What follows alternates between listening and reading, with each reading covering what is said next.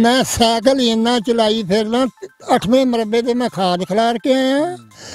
ਬਾਕੀ ਫਜਰੇ ਸ਼ਾਮੀ ਮਰਬੇ ਜਾਣਾ ਬਾਹਰ ਫਿਰਨਾ ਕੋਈ ਅਜੇ ਲੱਤ ਨੂੰ ਪੀ ਮਾਸ਼ਾਅੱਲਾ ਕਾਇਮ ਹੈ। ਲੱਤ ਨੂੰ ਪੀੜ ਨਹੀਂ ਅੱਖ ਨੂੰ ਵਾਰੀ ਸਾਹਿਬ ਫੇ ਬਾਬੇ ਦਾ ਕਿਤੇ। ਵਿਆਹ ਕੋਈ ਕਰ ਦਿਓ। ਬਾਬੇ ਨੇ ਕਰਾ ਲੈਣਾ ਵਾ। ਇਹ ਤਾਂ ਬਾਬੇ ਦੇ ਬਾਬਾ ਜੀ ਉਹਦਾ ਪੋਤਰਿਆਂ ਵਾਲੇ ਆ। ਲੇਕਿਨ ਅਗਰ ਮੁੰਡੇ ਕੋਸ਼ਿਸ਼ ਕਰਨ ਨਾ ਤੇ ਬਾਬਾ ਜੀ ਤਿਆਰ ਨੇ। ਬਾਬਾ ਉਹਨਾਂ ਨੂੰ ਕੋਈ ਟੈਨਸ਼ਨ ਨਹੀਂ।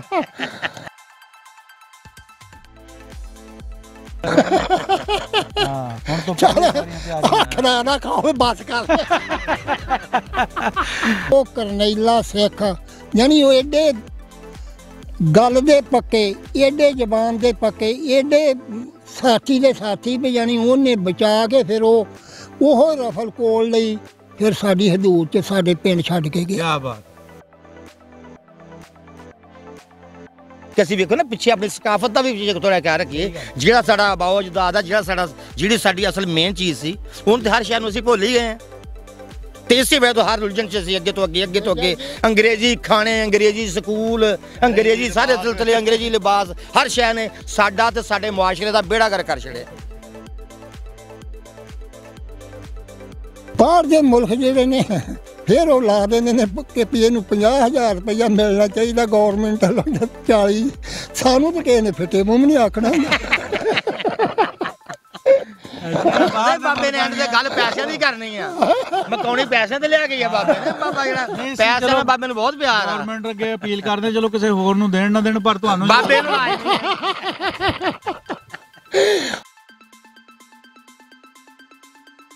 ਉਹ ਜਿਸੇ ਆਖਣ ਲੱਗਾ, ਭਾਈ, ਮੈਂ ਆਪਣੀ ਮੁਸੀਬਤ ਤੋਂ ਗੱਡਾ ਲੈਣਾ ਕੀਤਾ ਹੈ।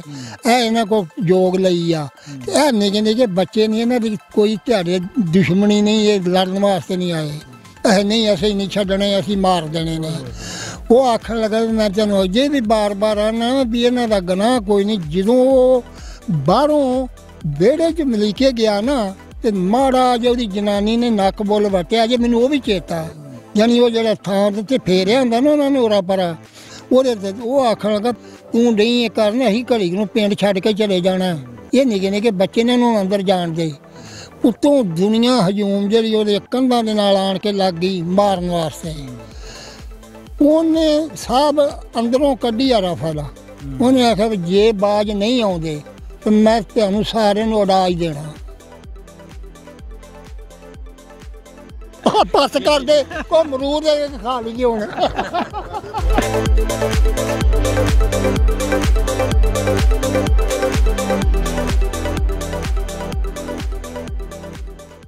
ਅਸਲਾਮ ਅਲੈਕਮ, ਸਤਿ ਸ਼੍ਰੀ ਅਕਾਲ, ਪ੍ਰਣਾਮ। ਦੋਸਤੋ, ਇੱਕ ਪਿੰਡ ਪੰਜਾਬ ਦਾ ਚੈਨਲ ਦੀ ਟੀਮ ਅੱਜ ਪਹੁੰਚੀ ਹੈ ਜੀ 264 ਨਾਗਾ ਦੇ ਵਿੱਚ। ਅਸ਼ਫਾਕ ਪਟਵਾਰੀ ਹੁਣਾਂ ਦੇ, ਸਾਡੇ ਭਾਈ ਆ ਉਹਨਾਂ ਦੇ ਬਾਗ ਦੇ ਵਿੱਚ। ਇੱਥੇ ਸਾਡੇ ਨਾਲ ਸਾਡੇ ਇੱਕ ਸੀਨੀਅਰ ਬਜ਼ੁਰਗ ਮੌਜੂਦ ਆ। ਮਨਜ਼ੂਰ ਨਾ ਆ ਜੀ ਇਹਨਾਂ ਦਾ। ਇਹਨਾਂ ਨੇ ਅਜਾੜਾ ਆਪਣੀ ਅੱਖੀਂ ਦੇਖਿਆ, ਆਪਾਂ ਇਹਨਾਂ ਕੋਲ ਅਜਾੜੇ ਦੀਆਂ ਗੱਲਾਂ ਬਾਤਾਂ ਪੁੱਛੀਆਂ ਜੀ। ਅਸਲਾਮ ਅਲੈਕਮ ਬਾਬਾ ਜੀ। ਵਾਲੇਕੁਮ ਸਲਾਮ ਜੀ। ਬਾਬਾ ਜੀ ਤੁਹਾਡਾ ਨਾਮ ਮਨਜ਼ੂਰ ਆ ਤੁਹਾਡੇ ਬਜ਼ੁਰਗਾਂ ਦਾ ਕੀ ਨਾਮ ਆ? ਹਰੀ ਬਸ਼ਕ ਜੀ। ਅੱਛਾ ਆਪਣੀ ਕਿਹੜੀ ਬਰਾਦਰੀ ਆ ਜੀ? ਅਸੀਂ ਜੀ ਇਹ ਜਿੰਨੇ ਪਿੰਡ ਪੰਜੇ ਗਿੱਲ ਬਲਾਦਰੀ ਆ। ਜੱਟ ਗਿੱਲ। ਜੱਟ ਗਿੱਲ ਆ, ਸਾਰੀ ਦੀ ਸਾਰੀ ਇਹ ਚੌਰ ਵੀ ਗਿੱਲ ਬਲਾਦਰੀ ਆ ਇਹ ਵੀ ਨਾਗਾ ਗਿੱਲ ਬਲਾਰੀ ਆ ਪੰਜ ਪਿੰਡ ਗਿੱਲ ਬਲਾਰੀ ਦੇ। ਆਪਣੇ ਲਾਗੇ ਜਿਹੜੇ ਪੰਜ ਪਿੰਡ ਆ ਉਹਨਾਂ ਦੇ ਕੀ ਨਾਮ ਆ ਜੀ? 264 ਨਾਗਾ 264 ਨਾਗਾ ਚੋਂ ਨਿੱਕੀ ਨਾਗ ਪੈ ਗਈ ਆ ਜਿਹੜੀ ਚੌਰੀ ਸਾਹਿਬ ਦਾ ਪਟਵਾਰੀ ਸਾਹਿਬ ਦਾ ਪਿੰਡ ਆ। ਠੀਕ ਹੈ ਜੀ। ਅੱਗੇ ਕਾਨਾ ਚੱਕ ਸੇਮਾ। ਹੂੰ। ਚਾਰ ਚਿਛਮਾ ਪੰਜ ਪੰਜ ਪਿੰਡ ਹੋ ਗਏ। 265 ਵੱਡੀ ਨਾਮ ਵੱਡੀ ਨਾਗ ਪ- ਪੰਜਵਾਂ ਪਿੰਡ। ਬਾਬਾ ਜੀ ਇਹ ਜਾੜਿਆਂ ਟਾਈਮ ਆਪਣੀ ਕਿੰਨੀ ਕੁ ਉਮਰ ਸੀਗੀ? ਮੇਰਾ ਖਿਆਲ ਆ ਕਿ ਮੇਰੀ ਉਦੋਂ ਉਮਰ ਕੋਈ 9-10 ਸਾਲ ਹੈ ਸੀ ਜੀ ਅੱਛਾ। ਕਿਉਂਕਿ ਮੈਨੂੰ ਅਜੇ ਉਹ ਫਰਸ਼ ਹੈ ਜਿਹੜੀ ਇਹ ਸਾਹਮਣੇ ਦਿਸਦੀ ਆ ਜਦੋਂ ਉਜਾੜੇ ਪੈ ਨੇ ਉਜਾੜਾ ਪੈਣ ਤੋਂ ਪਹਿਲੋਂ ਇੱਥੇ ਜੀ ਕਰਤਾਰਾ ਸਿੰਘ ਸਾਡੇ ਇਸ ਸੂਏ ਦੇ ਤੇ ਆਉਣਾ ਹੀ ਰੱਖ ਨਹਿਰ ਤੇ। ਅੱਛਾ ਜੀ। ਉਦੋਂ ਮਹੀਨਾ ਡੇਢ ਮਹੀਨਾ ਪਹਿਲੋਂ ਇੰਨੀ ਦੁਨੀਆ ਗੋਜ ਵੱਲੋਂ ਆਈ ਆ ਇਹਨਾਂ ਮੁਲ- ਪਿੰਡਾਂ ਚੋਂ ਆਈ ਆ ਸਾਡੇ ਪਿੰਡ ਸਣ ਦੀ ਲੰਘੀ ਜਾਂਦੇ ਸੀ। ਉਹ ਵੀ ਮੈਂ ਆਪਣੀ ਅੱਖਾਂ ਨਾਲ ਵੇਖਿਆ ਕਰਤਾਰੇ ਸਿੰਘ ਦਾ ਜਿਹੜਾ ਜਲਸਾ ਸੀ ਉਹ ਵੀ ਵੇਖਿਆ ਉਦੋਂ ਬਾਅਦ ਜੀ ਜਦੋਂ ਰੌਲੇ ਪੈ ਗਏ ਨੇ ਇੰਨੇ ਰੌਲੇ ਪੈ ਗਏ ਨੇ ਪਿੰਡਾਂ ਦੇ ਵਿੱਚ ਇਹਨਾਂ ਸੜਕਾਂ 'ਚ ਟੋਏ ਕੱਢੇ ਗਏ ਸੀ। ਜਾਣੀ ਕੋਈ ਬਾਹਰੋਂ ਆਣ ਕੇ ਦੁਸ਼ਮਣ ਹਮਲਾ ਨਾ ਕਰੇ। ਖੰਦਕਾਂ ਬਣਾਤੀਆਂ। ਹਾਂ, ਮ- ਮ- ਬੰਦ ਕਰ ਦਿੱਤਾ। ਹੂੰ।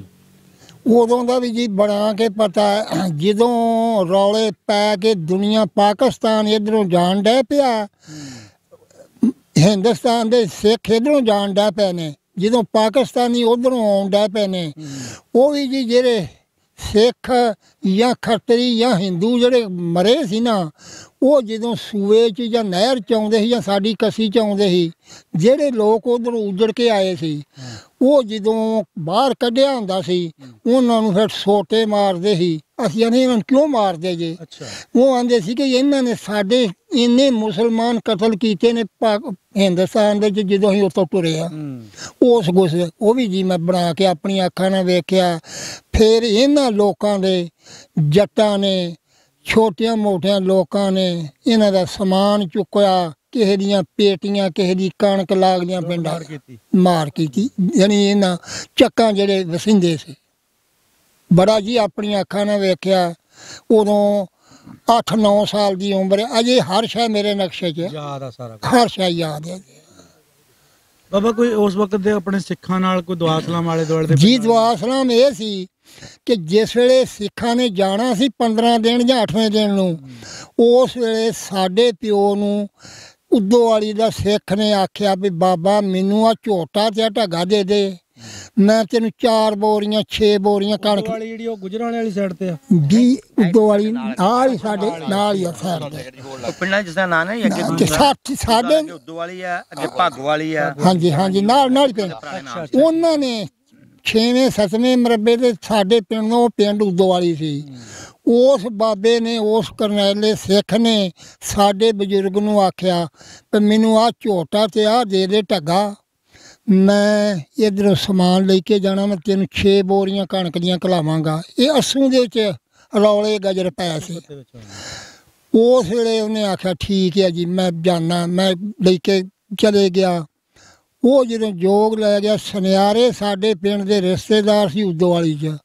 ਉਹਨਾਂ ਦੇ ਹੱਥ ਢੱਗੇ ਘੱਲੇ। ਉਹਨਾਂ ਨੇ ਬੋਰੀਆਂ ਲਿਆਂਦੀਆਂ ਤੇ ਜਦੋਂ ਬੋਰੀਆਂ ਲੈਣ ਗਏ ਨੇ ਨਾ ਉਸ ਵੇਲੇ ਮੇਥੋਂ ਵੱਡਾ ਗਫੂਰ ਸੀ ਤੇ ਮੈਂ ਸਹੀ ਦੋਵੇਂ ਸ਼ੌਕੀਆ ਤੌਰ ਤੇ ਜਿਵੇਂ ਹੂਟਾ ਲੈਣ ਦੇ ਭੱਜ ਅਸੀਂ ਚਲੇ ਗਏ ਉਦੋਂ ਵਾਲੀ। ਉਸੇ ਰੇਹੜੀ ਤੇ। ਜਦੋਂ ਰੇਹੜੀ ਤੇ ਚਲੇ ਗਏ ਆ ਜਾਂਦਿਆਂ ਨੂੰ ਉਦੋਂ ਜਲਸੇ ਤੇ ਜਸਾ ਇਕੱਠਾ ਹੋਇਆ ਸੀ ਤੇ ਸੂਏ ਤੇ ਸੂਆ ਉੱਥੋਂ ਇੱਕ ਮਰਬਾ ਹਟਵਾ ਸੀ। ਉਹ ਜਿਹੜਾ ਕਰਨੈਲਾ ਸੀ ਉਸ ਨੂੰ ਆਖਣ ਲੱਗੇ ਤੂੰ ਇਹਨਾਂ ਮੁਸਲਿਆਂ ਨੂੰ ਘਰ ਸੱਦਿਆ ਵਾ। ਅੱਛਾ। ਤੂੰ ਘਰ ਬਿਠਾ ਲਿਆ ਵਾ ਅਸੀਂ ਉਦੋਂ ਹੋਵਾਂਗੇ ਵੀ ਆਨੂੰ ਛੋਟੇ ਛੋਟੇ ਦਸਾਂ ਬਾਰਾਂ ਬਾਰਾਂ ਨਵਾਂ ਅੱਛਾ ਉਹ ਜਿਸ ਵੇਲੇ ਆਖਣ ਲੱਗਾ ਭਾਈ ਮੈਂ ਆਪਣੀ ਮੁਸੀਬਤ ਤੋਂ ਗੱਡਾ ਲੈਣਾ ਕੀਤਾ ਹੈ। ਇਹ ਇਹਨਾਂ ਕੋ ਜੋਗ ਲਈ ਆ। ਇਹ ਨਿੱਕੇ ਨਿੱਕੇ ਬੱਚੇ ਨਹੀਂ ਇਹਨਾਂ ਦੀ ਕੋਈ ਤੁਹਾਡੇ ਦੁਸ਼ਮਣੀ ਨਹੀਂ ਇਹ ਲੜਨ ਵਾਸਤੇ ਨਹੀਂ ਆਏ। ਇਹ ਨਹੀਂ ਅਸੀਂ ਨਹੀਂ ਛੱਡਣੇ ਅਸੀਂ ਮਾਰ ਦੇਣੇ ਨੇ।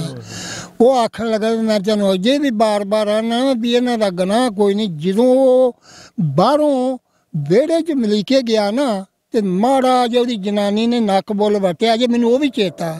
ਯਾਨੀ ਉਹ ਜਿਹੜਾ ਥਾਂ ਤੇ ਫੇਰਿਆ ਹੁੰਦਾ ਨਾ ਉਹਨਾਂ ਨੇ ਉਰਾ ਪਰਾ, ਉਹਦੇ ਤੇ ਉਹ ਆਖਣ ਲੱਗਾ, ਤੂੰ ਨਹੀਂ ਇਹ ਕਰਨਾ, ਅਸੀਂ ਘੜੀ ਨੂੰ ਪਿੰਡ ਛੱਡ ਕੇ ਚਲੇ ਜਾਣਾ। ਇਹ ਨਿੱਕੇ ਨਿੱਕੇ ਬੱਚੇ ਨੇ ਉਹਨੂੰ ਅੰਦਰ ਜਾਣ ਦੇ। ਉਤੋਂ ਦੁਨੀਆ ਹਜੂਮ ਜਿਹੜੀ ਉਹਦੇ ਕੰਧਾਂ ਦੇ ਨਾਲ ਆਣ ਕੇ ਲੱਗ ਗਈ ਮਾਰਨ ਵਾਸਤੇ। ਉਹਨੇ ਸਾਬ ਅੰਦਰੋਂ ਕੱਢੀ ਆ ਰਫਲ। ਉਹਨੇ ਆਖਿਆ ਵੀ ਜੇ ਬਾਜ ਨਹੀਂ ਆਉਂਦੇ, ਤਾਂ ਮੈਂ ਤੁਹਾਨੂੰ ਸਾਰਿਆਂ ਨੂੰ ਉਡਾ ਦੇਣਾ।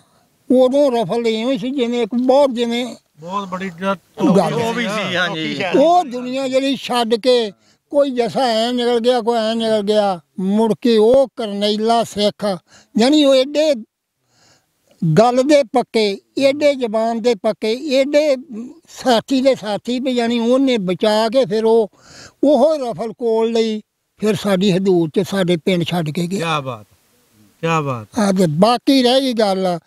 ਤੁਸੀਂ ਜਿਹੜੀ ਅੱਜ ਕੱਲ ਦਾ ਮੌਕਾ ਹੈ, ਤੁਹਾਡੇ ਕੋਲ ਉਹ ਹੀ ਨਹੀਂ ਮੁੱਕਣਾ ਚਾਹੀਦਾ, ਇਮਰਾਨ ਖਾਨ ਦਾ ਤੇ ਜਿਹੜੀ ਆਪਣੀ ਹਕੂਮਤ ਆ। ਕੋ- ਆ ਸਹੀ ਗੱਲ ਹੈ ਜੀ। ਅੱਛਾ ਉਹ ਰਾਤੀ ਹੋਰ ਹੁੰਦੀਆਂ ਨੇ ਦਿਨ ਨੇ ਹੋਰ ਗੱਲਾਂ ਹੁੰਦੀਆਂ ਨੇ। ਹਾਂ। ਕੋਈ ਇਹ ਕਰੋ ਸਮਝੌਤਾ ਕਰਾ ਦਿਓ। ਇਹ ਆਪਣੇ ਤੋਂ ਕੰਮ ਭਾਰ ਆਇਆ ਬਾਹਰ ਆਇਆ। ਇਹ ਸਾਡੇ ਇਹ ਜਾਂ ਜਿੱਦਾਂ ਤੁਸੀਂ ਉਹ ਸਰਦਾਰ ਦੀ ਗੱਲ ਦੱਸੀ ਆ ਜੀ ਜੀ। ਵੀ ਉਹਨੇ ਬਚਾ ਕੇ ਬੱਚੇ ਆਪਣੀ ਜਾਨ ਤੇ ਖੇਲ ਹਾਂਜੀ। ਕੇ ਲੈ ਕੇ ਉਹ ਛੱਡ ਕੇ ਗਿਆ। ਗਿਆ। ਇਦਾਂ ਦੀ ਸੋਚ ਵਾਲੇ ਬੰਦੇ ਹੋਣ ਨਾ ਹਾਂਜੀ। ਤੇ ਲੜਾਈਆਂ ਪੜਾਈਆਂ ਹੋਣ ਹੀ ਨਾ। ਜੀ ਬਿਲਕੁਲ ਬਜਾ ਮੈਂ ਆਖਿਆ ਉਸ ਵੇਲੇ ਜਦੋਂ ਸਿੱਖ ਆਣ ਕੇ ਸਾਰਾ ਪਿੰਡ ਉਹਦੀ ਕੰਨਾਂ ਦੇ ਦੁਆਲੇ ਲੱਗ ਗਿਆ ਨਾ ਵੀ ਅਸਾਂ ਨਹੀਂ ਇਹਨਾਂ ਨੂੰ ਜਾਣ ਦੇਣਾ। ਉਹਨੇ ਆਖਿਆ ਮੈਂ ਤੁਹਾਨੂੰ ਦੋ ਵਾਰੀ ਰੋਕਿਆ ਤਿੰਨ ਵਾਰੀ ਰੋਕਿਆ। ਤੇ ਜਿਸ ਵੇਲੇ ਅੰਦਰੋਂ ਪੇਟੀ ਚੋਂ ਕੱਢਿਆ ਜਿਹੜੇ ਅੰਦਰ ਅਸੀਂ ਬੈਠੇ ਸਾਂ ਪੇਟੀ ਚੋਂ ਜਦੋਂ ਰਫਲ ਕੱਢੀ ਆ ਇਸ ਤਰ੍ਹਾਂ ਜਦੋਂ ਚਲਾਈ ਆ ਉਹਨੇ ਆਖਿਆ ਮੈਂ ਹਰ ਸ਼ੇ ਤਬਾਹ ਕਰ ਦੇਣੀ ਆ। ਉਹ ਕੋਈ ਐ ਭੱਜ ਗਿਆ। ਉਸ ਟਾਈਮ ਦਾ ਰਫਲ ਤਾਂ ਬਹੁਤ ਇੱਕ ਬੜੇ ਰੋਹ ਵਾਲੀ ਚੀਜ਼ ਸੀ ਜੀ ਬੜਾ ਬਹੁਤ ਡਰ ਸੀ। ਬੜਾ ਜਿਹਨੇ ਕੋ ਖੋ ਪੁਲਿਸ ਦਾ ਕੋਈ ਬੰਦਾ ਪਿੰਡ 'ਚ ਐਵੇਂ ਸੋਟੀ ਹੱਥ 'ਚ ਫੜ ਕੇ ਆ ਜਾਵੇ ਨਾ ਤੇ ਦੁਨੀਆ ਐਵੇਂ ਲੋਕਦੀ ਫਿਰਦੀ ਹੁੰਦੀ ਸੀ ਵੀ ਪਤਾ ਨਹੀਂ ਕੀ ਕਰਨ ਹੋ ਗਿਆ ਫੰਡ ਆ ਗਿਆ ਸਾਨੂੰ ਕੀ ਚੱਕਰ ਆ। ਹੁਣ ਤਾਂ ਸਾਹਮਣੇ ਫਿਰੀ ਜਾਂਦੀ ਸਾਹਮਣੇ ਅਗਲੇ ਸਾਰਾ ਕੋਈ ਬਿਲਕੁਲ। ਜਿਵੇਂ ਹੁਣ ਸਾਹਿਬ ਅੱਜ ਕੱਲ ਸਾਡੀ ਮੇਰੀ ਉਮਰ ਇਸ ਵੇਲੇ 85 90 ਸਾਲ ਜਾਂ ਦੋ ਘੱਟ 90 ਸਾਲ ਆ। ਹਾਂਜੀ। ਬਾਹਰ ਦੇ ਮੁਲਕ ਜਿਹੜੇ ਨੇ ਫਿਰ ਉਹ ਲਾ ਦਿੰਦੇ ਨੇ ਕਿ ਵੀ ਇਹਨੂੰ 50000 ਰੁਪਇਆ ਮਿਲਣਾ ਚਾਹੀਦਾ ਗਵਰਨਮੈਂਟ ਵੱਲੋਂ ਜਾਂ 40 ਸਾਨੂੰ ਤਾਂ ਕਿਸੇ ਨੇ ਫਿੱਟੇ ਮੂੰਹ ਨਹੀਂ ਆਖਣਾ। ਬਾਬੇ ਬਾਬੇ ਨੇ ਐਂਡ ਤੇ ਗੱਲ ਪੈਸਿਆਂ ਦੀ ਕਰਨੀ ਆ। ਮਕਾਉਣੀ ਪੈਸਿਆਂ ਤੇ ਲਿਆ ਗਈ ਆ ਬਾਬੇ ਨੇ। ਬਾਬਾ ਜਿਹੜਾ ਪੈਸਿਆਂ। ਨਾਲ ਬਾਬੇ ਨੂੰ ਬਹੁਤ ਪਿਆਰ ਆ। ਗਵਰਨਮੈਂਟ ਅੱਗੇ ਅਪੀਲ ਕਰਦੇ ਚਲੋ ਕਿਸੇ ਹੋਰ ਨੂੰ ਦੇਣ ਨਾ ਦੇਣ ਪਰ ਤੁਹਾਨੂੰ ਬਾਬੇ ਨੂੰ ਆਏ ਤੁਹਾਡਾ ਹੱਕ ਬਣਦਾ ਆ ਤੁਸੀਂ ਸੀਨੀਅਰ ਸਿਟੀਜ਼ਨ ਹੋ। ਅੱਛਾ ਦੂਜਾ ਜੀ ਇਹ ਆ। ਸਾਹਿਬ ਅੱਲਾਹ ਪਾਕ ਦੀ ਤੰਦਰੁਸਤੀ ਆ ਅਜੇ ਨੈਣੀ ਪ੍ਰਣੀ ਮੈਂ ਹੁਣ ਦੂ ਪੈਲੀਆਂ 'ਚ ਖਾਦ ਖਿਲਾਰ ਕੇ ਆਇਆ। ਹਾਂ ਸਾਈਕਲ ਵੀ ਤੁਸੀਂ ਚਲਾਈ ਫਿਰਦੇ ਸੀ ਮੈਂ ਸਾਈਕਲ ਇੰਨਾ ਚਲਾਈ ਫਿਰਨਾ ਅੱਠਵੇਂ ਮਰਬੇ ਤੇ ਮੈਂ ਖਾਦ ਖਿਲਾਰ ਕੇ ਆਇਆ।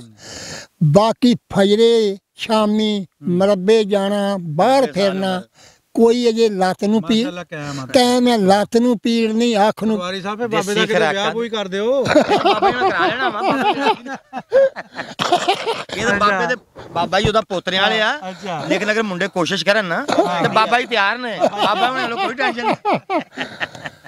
ਮੈਂ ਉਸ- ਜ਼ਿੰਦਾ ਦਿਲ ਬਜ਼ੁਰਗ ਮੈਂ ਸਾਹਿਬ ਹਾਂਜੀ। ਦੱਸਿਆ ਜੇ ਬਾਬਾ ਜੀ ਆ। ਅੱਛੇ ਬਜ਼ੁਰਗ ਨੇ। ਖੁਸ਼ ਦਿਲ ਨੇ ਖੁਸ਼ ਅਖਲਾਕ ਨੇ ਤੇ ਮਾਸ਼ਾਅੱਲਾ ਬੜੀ ਅੱਛੀ ਆਦਤ ਹੈ ਇਹਨਾਂ ਦੀ। ਸਾਹਿਬ ਮੈਂ ਦੱਸਿਆ ਜੇ ਇਹ ਸੀ ਵੀ ਕੁਛ ਐਸਾ ਵਕਤ ਆ ਗਿਆ ਹੈ 40 35 ਸਾਲ ਤੋਂ। ਹਰਸ਼ਾ ਜਿਹੜੀ ਆ ਉਲਟ ਹੋ ਗਈ। ਉਲਟ ਹੋ ਗਈ ਖਤਮ ਹੁੰਦੀ ਜਾਂਦੀ ਆ। ਕਿਸੇ ਦੇ ਗੋਡਿਆਂ ਨੂੰ ਪੀੜਿਆ ਕਿਸੇ ਨੂੰ ਫਾਲਜ ਹੋ ਗਿਆ ਕਿਸੇ ਨੂੰ ਕੁਛ ਹੋ ਗਿਆ। ਤੇ ਜਿਹੜੀਆਂ ਇੱਕ ਸ਼ੈ ਆ ਉਹ ਤੇ ਐਨ ਕਿਸੇ ਘਰ ਬੰਦਾ ਬਾਹਰੋਂ ਮਰੱਬਿਓਂ ਆਵੇ 10 ਵਜੇ ਰੋਟੀ ਖਾਣ ਜਦੋਂ ਕਿਸੇ ਜੀ ਨੂੰ ਆਣ ਕੇ ਆਖਣਾ ਆਖਣਾ ਉਹ ਫਲਾਣੇ ਆਲੇ 'ਚ ਰੋਟੀ ਪਈ ਖਾ ਲਓ। ਕੀ ਹੋਇਆ? ਬਲੱਡ ਵੱਧ ਗਿਆ ਜਾਂ ਘਟ ਗਿਆ? ਸਾਡੇ ਇਹ ਹੀ ਅੱਲਾ ਪਾਕ ਦਾ ਸ਼ੁਕਰ ਆ। ਬਾਬਾ ਅੱਗੇ ਤਾਂ ਹਾਲੀਆਂ ਨੂੰ ਰੋਟੀ ਖੇਤਾਂ ਜਾਂਦੀ ਹੁੰਦੀ ਸੀ ਵਿੱਚ ਜਾਂਦੀ ਸੀ ਜਾਂਦੀ ਸੀ। ਲਗਾਤਾਰ ਖੇਤਾਂ ਸਵਾਦ ਵੀ ਬੜਾ ਹੁੰਦਾ ਸੀ। ਬੜਾ ਜੀ ਬੜਾ ਸਵਾਦ ਬੜਾ ਹੁੰਦਾ ਸੀ। ਸਵਾਦ ਬੜਾ ਆਉਂਦਾ ਸੀ। ਸਲਾਦ ਨਹੀਂ। ਸਾਲਣ ਨਹੀਂ ਕੋਈ ਇੱਕ ਅਚਾਰ ਸਾਦਾ ਹੋਣਾ ਨਾ ਇੱਕ ਅਚਾਰ ਹੋਣਾ ਨਾਲ ਗੁੜ ਹੋਣਾ ਲੱਸੀ ਹੋਣੀ ਤੇ ਉਹ ਵੀ ਦੁਪਹਿਰੇ ਵੀ ਖੁਸ਼ ਹੋ ਕੇ ਖਾਣੀ ਉਹਦਾ ਮਜ਼ਾ ਆਉਣਾ। ਹੁਣ ਤੇ ਜਿੰਨੇ ਜ਼ਿਆਦਾ ਖਾਣੇ ਨੇ ਉਨੀਆਂ ਹੀ ਜ਼ਿਆਦਾ ਬਿਮਾਰੀਆਂ ਅਸਲ ਚੀਜ਼ ਇਹ ਕਿ ਅਸੀਂ ਨਾ ਜੀ ਆਪਣੇ ਘਰ ਦੀਆਂ ਆਪਣੀ ਸਕਾਫਤ ਨੂੰ ਭੁੱਲ ਗਏ ਆ। ਆਪਣੀਆਂ ਘਰ ਦੀਆਂ ਚੀਜ਼ਾਂ ਦੇਸੀ ਚੀਜ਼ਾਂ ਨੂੰ ਇਗਨੋਰ ਕਰਕੇ ਉਹਨਾਂ ਹਰ ਸ਼ੈ ਛੱਡ ਦਿੱਤੀ ਆ। ਅੰਗਰੇਜ਼ੀ ਖਾਣਿਆਂ ਮਗਰ ਲੱਗ ਗਏ ਆ। ਅੰਗਰੇਜ਼ਾਂ ਕੁੜੀਆਂ ਮਗਰ ਨੱਠ ਪਏ ਆ। ਸਾਨੂੰ ਬਿਮਾਰੀਆਂ ਸਾਨੂੰ ਪਰੇਸ਼ਾਨੀਆਂ ਸਾਨੂੰ ਉਲਝਣਾ ਹਰ ਸ਼ੈ ਸਾਡੇ ਪਿੱਛੇ ਤਾਂ ਹੀ ਲੱਗ ਗਈ ਆ। ਅਸੀਂ ਆਪਣੀ ਸਕਾਫਤ ਨੂੰ ਭੁੱਲ ਗਏ ਆ ਆਪਣੇ ਆਪ ਨੂੰ ਭੁੱਲ ਗਏ ਆ ਆਪਣੇ ਪੰਜਾਬ ਨੂੰ ਭੁੱਲ ਗਏ ਆ ਆਪਣੇ ਖਾਣਿਆਂ ਨੂੰ ਭੁੱਲ ਗਏ ਆ। ਹਰ ਸ਼ੈ ਨੂੰ ਛੱਡ ਕੇ ਇਸ ਤੋਂ ਅਸੀਂ ਆਪਣੇ ਜ਼ਿਆਦਾ ਤੋਂ ਜ਼ਿਆਦਾ ਪਰੇਸ਼ਾਨੀ ਤੋਂ ਉਲਝਣਾ ਚ ਪੈ ਗਏ। ਹਾਂ। ਹਾਂਜੀ। ਸਾਡੇ ਪਿਆਰ ਮੁਹੱਬਤ ਮੁੱਕ ਗਿਆ ਚਾਹਤ ਮੁੱਕ ਗਈ, ਉਲਫਤ ਮੁੱਕ ਗਈ ਇੱਕ ਦੂਜੇ ਦੀ ਜਿਹੜੀਆਂ ਨੇ ਸਿਰਫ ਦੇ ਦੌੜਾ ਦੇ ਪੈਸੇ ਪਿੱਛੇ ਲੱਗੀ ਹੈ। ਹਾਂਜੀ। ਤੇ ਇਸੇ ਵਜ੍ਹਾ ਤੋਂ ਹੀ ਜ਼ਿਆਦਾ ਤੋਂ ਜ਼ਿਆਦਾ ਤਾਂ ਪਰੇਸ਼ਾਨ ਆ। ਜੇ ਤਾਂ ਸਾਡੀ ਰਿਕਵੈਸਟ ਆ ਤੁਸੀਂ ਅੱਗੇ ਪਿੱਛੇ ਬਾਹਰ ਫਿਰਦੇ ਹੋ। ਸਾਡੀ ਇਹ ਰਿਕਵੈਸਟ ਆ ਕਿ ਲੋਕਾਂ ਨੂੰ ਪਿੰਡਾਂ ਵਿੱਚ ਜਿਹੜਾ ਥੋੜਾ ਜਿਹਾ ਤੁਸੀਂ ਕਿ ਅਸੀਂ ਵੇਖੋ ਨਾ ਪਿੱਛੇ ਆਪਣੀ ਸਕਾਫਤ ਦਾ ਵੀ ਥੋੜਾ ਖਿਆਲ ਰੱਖੀਏ। ਜਿਹੜਾ ਸਾਡਾ ਬਾਉ ਜਦਾਦ ਆ ਜਿਹੜਾ ਸਾਡਾ ਜਿਹੜੀ ਸਾਡੀ ਅਸਲ ਮੇਨ ਚੀਜ਼ ਸੀ ਉਹਨੂੰ ਤੇ ਹਰ ਸ਼ਹਿਰ ਨੂੰ ਅਸੀਂ ਭੁੱਲ ਹੀ ਗਏ ਹਾਂ। ਤੇ ਇਸੇ ਵੇ ਤੋਂ ਹਰ ਉਲਝਣ ਚ ਅਸੀਂ ਅੱਗੇ ਤੋਂ ਅੱਗੇ ਅੱਗੇ ਤੋਂ ਅੱਗੇ ਅੰਗਰੇਜ਼ੀ ਖਾਣੇ ਅੰਗਰੇਜ਼ੀ ਸਕੂਲ ਅੰਗਰੇਜ਼ੀ ਸਾਰੇ ਸਿਲਸਿਲੇ ਅੰਗਰੇਜ਼ੀ ਲਿਬਾਸ ਹਰ ਸ਼ੈ ਨੇ ਸਾਡਾ ਤੇ ਸਾਡੇ ਮੁਆਸ਼ਰੇ ਦਾ ਬੇੜਾ ਕਰ ਕਰ ਛੜਿਆ ਹਾਂਜੀ। ਤੁਸੀਂ ਕੀ ਕਹਿਣ ਲੱਗੇ? ਮੈਂ ਜੀ ਕਹਿਣ ਲੱਗਾ ਸਾਂ ਵੀ 264 ਨਾਗਾਂ ਨੂੰ ਇਸ ਚੌਰੀ ਪਟਵਾਰੀ ਸਾਹਿਬ ਨੂੰ ਨਿੱਕੀ ਨਾਗ ਵਾਲੇ ਨੂੰ ਪਾਣੀ ਮੋਗਿਆਂ ਦਾ ਪੈਂਦਾ ਹੈ। ਸਾਨੂੰ ਟੇਲਾਂ ਪੈਂਦੀਆਂ ਨੇ। ਜਿਹੜੇ ਟੇਲਾਂ ਦੇ ਚਾਰ ਪੰਜ ਮੋਗੇ ਨੇ ਉਹਨਾਂ ਲੋਕਾਂ ਨੇ ਮੋਗੇ ਕਿਸੇ ਨੇ ਦੋ ਗਿੱਠਾਂ ਚੌੜਾ ਕੀਤਾ ਤੇ ਕਿਸੇ ਨੇ ਦੋ ਗਿੱਠਾਂ ਡੂੰਘਾ ਕੀਤਾ। ਤੇ ਮਿਹਰਬਾਨੀ ਕਰਕੇ ਜੀ ਮੇਰੇ ਵੱਲੋਂ ਇੱਕ ਵਾਰੀ ਆਖ ਕੇ ਰਿਕਵੈਸਟ ਆ ਦੱਸੋ ਨਾ ਤੁਸੀਂ ਆਪਣੀ ਰਿਕਵੈਸਟ ਹੈ। ਤੁਹਾਨੂੰ ਵੀ ਪਾਣੀ ਸਾਡੇ ਪਾਣੀ ਬਰਾਬਰ ਮਿਲ ਜਾਣਾ ਪਾ- ਪਾਣੀ ਸਾਨੂੰ ਮਿਲੇ ਟੇਲਾਂ ਵਾਲਿਆਂ ਨੂੰ ਮਿਲੇ। ਉਹ ਲੋਕ ਜਿਹੜੇ ਇੰਨਾ ਜੁਰਮ ਕਰਦੇ ਨੇ ਉਹਨਾਂ ਦੇ ਐਕਸ਼ਨ ਲਿਆ ਜਾਏ ਉਹਨਾਂ ਨੂੰ ਪੁੱਛਿਆ ਜਾਏ ਮਹਿਕਮੇ ਵੱਲੋਂ। ਬਾਬਾ ਜੀ ਜਿਹੜਾ ਆਪਣਾ ਸਿਸਟਮ ਆ ਨਾ ਜੀ ਇਹ ਜਿਹੜਾ ਟੋਟਲ ਇੱਕ ਵਿਗਾੜ ਦਾ ਸ਼ਿਕਾਰ ਹੋ ਚੁੱਕਿਆ ਆ।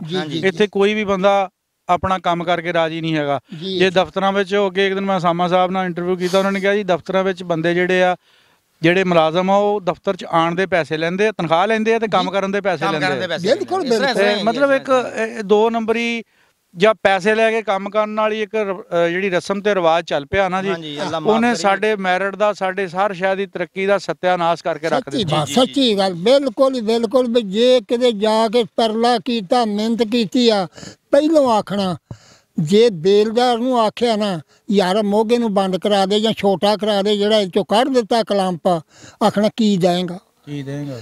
ਜੇ ਆ ਕੇ ਇਧਰੋਂ ਜੇ ਦੇ ਕੇ ਰੇਤ ਬਜਰੀ ਕੋਈ ਲੈ ਲੈ ਤੇ ਛੋਟਾ ਕਰ ਵੱਡਾ ਕਰਨ ਵਾਲਿਆਂ ਕੋ ਵੀ ਲੈ ਲੈਂਦੇ ਮਸ਼ੀਨ ਲਾਣ ਦੇ ਤੇ ਛੋਟਾ ਕਰਨ ਵਾਲਿਆਂ ਉਹ ਵੀ ਲੈ ਲੈਂਦੇ ਨੇ ਜੀ ਆਹ ਹਾਲ ਆ ਕੋਈ ਥੋੜਾ ਜਿਹਾ ਉਧਰੋਂ ਕਿਤੇ ਆਖ ਵੇਖ ਕੇ। ਜੇ ਕੋਈ ਕਾਨੂੰਨ ਨਿਕਲਦਾ ਨਾ ਕਿਸੇ ਦੇ ਫਾਇਦੇ ਲਈ ਤਾਂ ਉਹਦੇ ਵਿੱਚ ਰਿਸ਼ਵਤ ਲੈਣ ਦੀ ਇੱਕ ਤੁਹਾਨੂੰ ਇੱਕ ਬ੍ਰਾਂਚ ਬਣ ਜਾਂਦੀ ਹੈ ਕਿ ਤੁਹਾਨੂੰ ਇਜਾਜ਼ਤਨਾਮਾ ਮਿਲ ਜਾਂਦਾ। ਜੀ ਜੀ। ਠੀਕ ਹੈ ਨਾ ਜੀ? ਇੰਨਾ ਮਤਲਬ ਆਪਣਾ ਨਿਜ਼ਾਮ ਵਿਗੜਿਆ ਹੋਇਆ। ਬਾਬਾ ਜੀ ਆਪਣੇ ਜਿਹੜੇ ਆਲੇ ਦੁਆਲੇ ਪਿੰਡ ਆ ਹਾਂਜੀ। ਇਹਦੇ ਵਿੱਚ ਜ਼ਿਆਦਾ ਤੁਸੀਂ ਦੱਸਿਆ ਵੀ ਗਿੱਲ ਜਾਟੀ ਬੈਠੇ ਆ।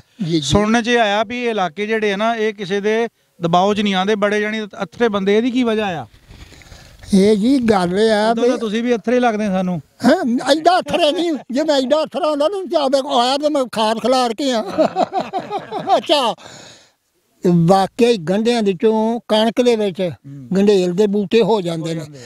ਇਹ ਪਿੰਡ ਪੰਜੇ ਬਹੁਤ ਬੜੇ ਸੀ ਬੜੇ ਨੇਕ ਸੀ ਬੜੇ ਕਿਸੇ ਨਾਲ ਵਰਤਣ ਵਾਲੇ ਸੀ।